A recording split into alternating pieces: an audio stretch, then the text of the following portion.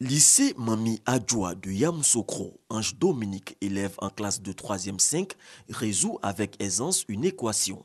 Entre elle et les mathématiques, c'est une longue histoire d'amour. Depuis le CM1, voilà, on a commencé à faire des calculs comme ça. Et puis en 6e, on nous a appris plus de choses. Mais en 4e, c'était, voilà, si je veux dire, une révélation. Parce que là, c'était, on faisait plus les équations, c'est là qu'est venu mon amour pour les mathématiques. Qu'est-ce que tu voudrais faire dans le futur? Je voudrais être ingénieur en mine euh, pétrole. Pourquoi? Parce que euh, je suis passionnée par la chimie et puis les maths. Donc euh, je trouve que c'est ce métier-là qui me sied. Ingénieur, architecte ou même pilote, ces filles amoureuses des matières scientifiques sont au travail pour réaliser leurs rêves. Ce sont des filles qui sont très très assidues au travail elles, ça donne rien qu'à leurs études, les, distractions et autres. Ce n'est pas du tout leur euh, quotidien.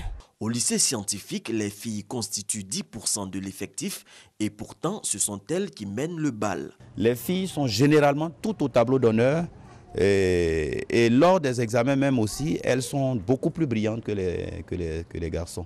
C'est pour dire que le fait qu'elles soient en nombre réduit ne joue nullement sur leur performance et sur leurs résultats.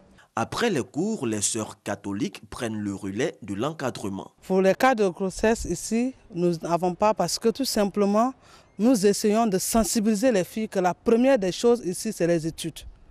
Ce sont les études, elles doivent se battre pour être des leaders de demain. Au supérieur, les filles de l'Institut national polytechnique Oufouette-Boigny sont fières de faire partie de la crème des futurs cadres du pays. Je suis Jomette. Voilà. Le but, c'est de trouver des coordonnées des points. Et nous faisons d'abord une polygonale au sein de l'INP.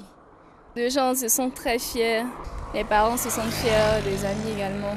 La Côte d'Ivoire, dans quelques années, pourra certainement compter sur elle pour trouver des solutions à toutes les équations difficiles auxquelles pourrait être confronté le pays.